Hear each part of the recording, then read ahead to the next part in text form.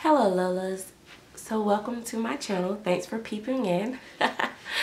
Guys, make sure that you are subscribed to this channel. If not, go ahead and smash that subscribe button. It's that red subscribe button. And go ahead and click the bell to be a part of the notification squad. And if you feel inclined to giving me that fry money, go ahead and click the link in the description bar to join the chatterbox. It is $1.99 to join and you must be at least 18 years old to join. Alright guys, so I have Puck Santana here. You guys know who Puck Santana is. Puck Santana is by Sweet Little Puckapoo. Um, he is the Puck sculpt, um, sculpted by Lillian Breville. He was painted, poured, and rooted by Claire Teller. Um, Puck has been with me the longest in my nursery. And for those that follow me on my Instagram, if you're not, go ahead and make sure you follow me on Instagram. And those that follow me on Facebook, um, you've probably seen that I had Puck up for sale again. I've done this periodically. I've done this from time to time. I've put him up for sale, changed my mind, put him up for sale, changed my mind. Um,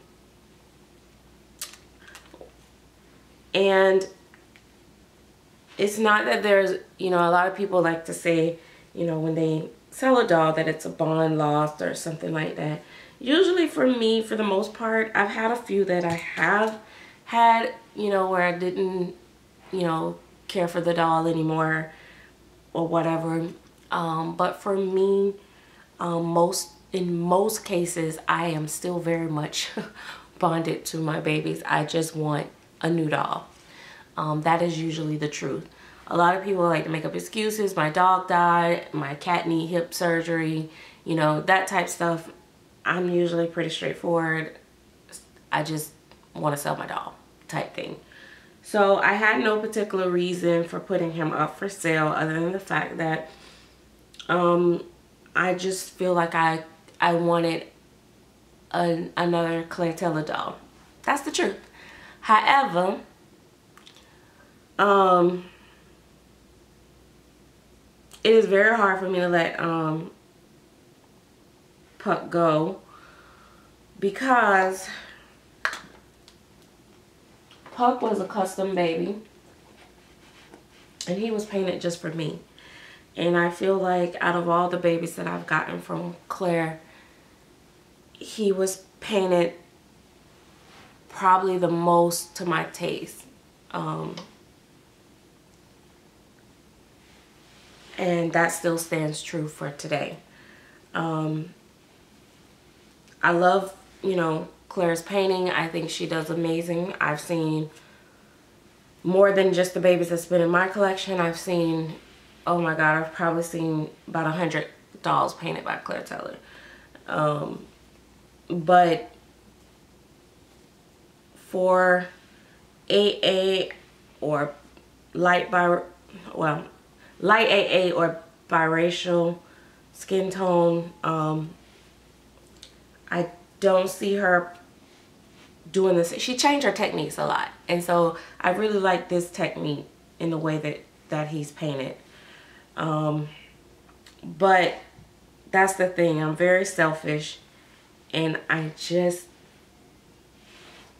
you know, I collect for, you know, my babies. I want them to be unique. And so that's that's the thing. I hate to let them go because I'm probably not going to get the same paint style again I may get something different. Might be better. May not be. But this is my taste. And so, you know, it's very hard. Um, he's Ecoflex 20.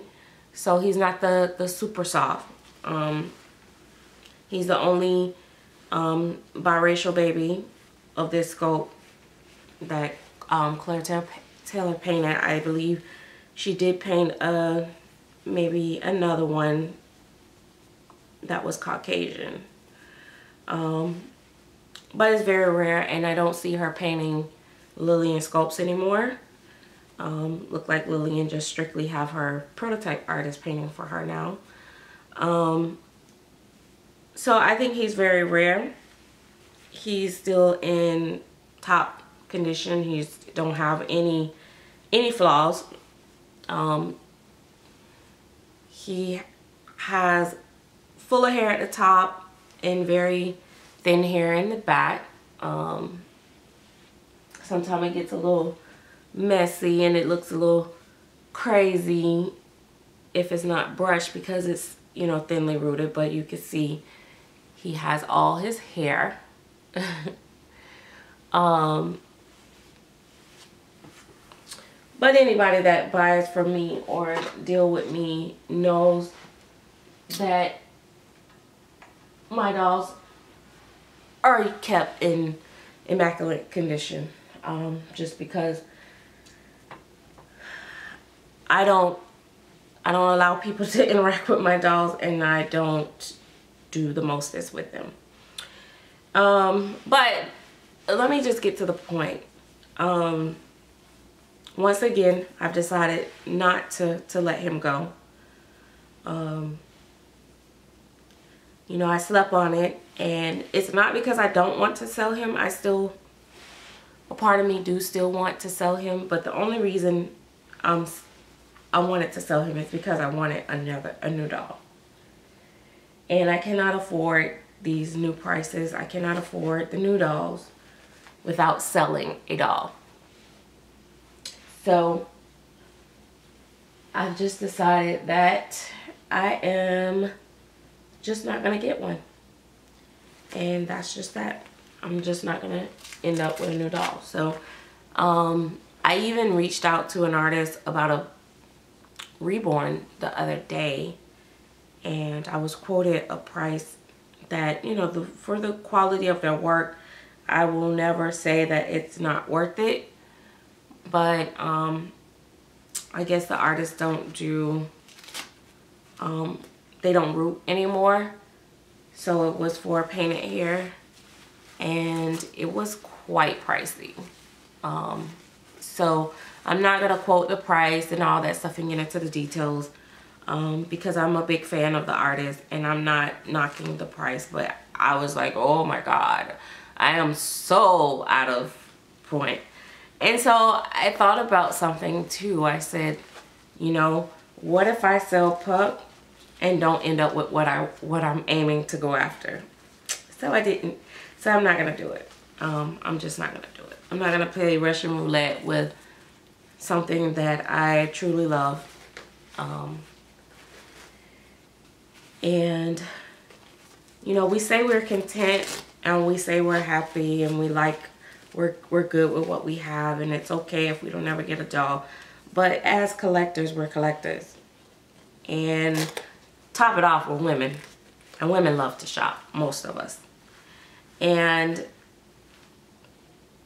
I'm one that do things very impulsive like I, I will think of something and I want to do it right and there's no no real rational thought process when it comes to this hobby. Anything else I'll take my time and think about it but but yeah so so I've just decided it just it just doesn't make sense. I think too you know um like I was mentioning in the chatter box, and I'm not going to go as deep as I did in there about it, but I was saying about, look at his cute little feet. oh my gosh. Um, I was saying how, you know, people were saying how they're losing interest in, in the hobby and stuff like that. I think sometimes, too, I think some of us that are used to, you know, collecting and seeing new stuff and stuff like that, for me, sometimes it gets a little frustrating when the reality keeps setting in and I keep trying to convince myself that there'll be a way. I'm very picky. I know second market works for a lot of people and I'm not saying that I won't buy second market because I will. I've been looking. I've been looking at second market.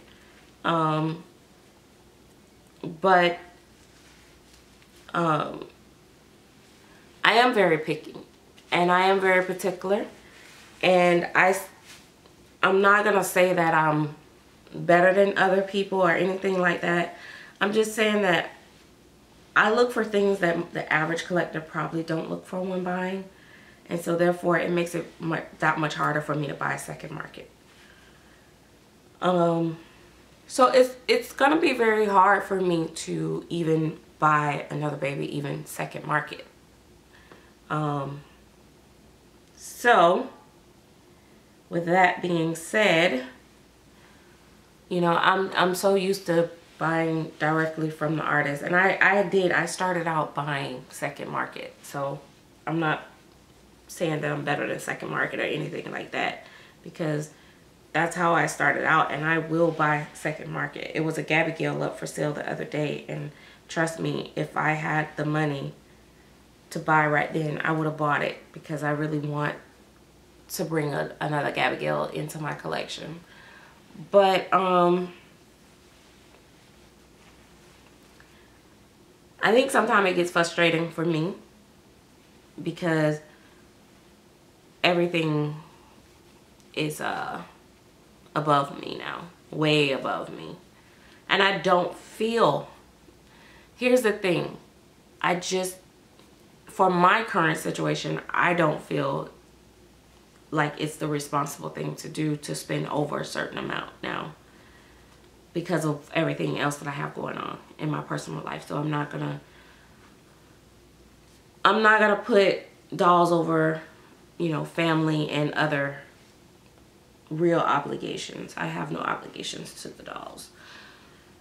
So that's that's where it's at. So I I think you know it does kind of mm, changes up things. It's a game changer for for me a little bit.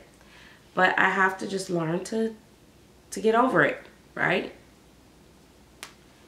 Um, you know, if I look back 10, 15 years ago, um, cars and everything else was a whole bunch cheaper too.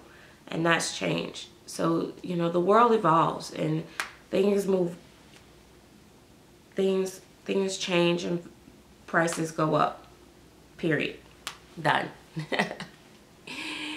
so, um, all I can say is if you are in the same boat as I am, you probably want to do like I did. You know, think very hard before you you go to swapping out. But I do believe in in in selling to to upgrade or, or change, make a change. And I I there's no other sculptor or painter that I love work more than Claire Teller. That's that's the truth. But I am thankful. I have now my vinyl babies, my twins, and Hannah and Hunter, because I did change her name to Hannah. And I have, you know, Puck that's painted by her, not sculpted by her. And then I have my Noah Poo. So, um, I may also be feeling a sense of uh, loss too because some of you guys, I don't know if you guys know, but my private baby Alex, which is April by Claire Teller, um, is actually going to my mom very soon. Um, actually Christmas. So I won't have a girl silicone baby anymore. And um, it is my gift to my mom. My mom is finding, you know, comfort in a hobby and she really loved that baby a lot. And so that's what I chose to do. Um, so no explanation needed. Um, so that is that. Um, I have been working on some babies but I kind of got a little distracted with the holidays. Um, so, I don't know. I don't know what I'm going to do with myself at this point. Um, like I said, I thought I can buy silicone, so I'll go buy me a reborn. And then I priced reborns, and I'm just like, oh my god. It looked like I just got to paint my own reborns. I got to paint my own um, silicone babies. And even with that, I only can probably afford to buy me like one kit and then paint that. And um, be done. Um, I can't I can't afford to just keep buying kits either because they're very expensive too. So I have to sell my reborns to pay for my silicone kit and then I'll paint it myself. I think that's going to be my new goal. That way I don't have to lose someone that I love and um, that is very unique to my collection. So again, forgive me again. I am very bipolar when it comes to my uh, buying, sell, impulse. So no, he will not. Oh, let me take these off.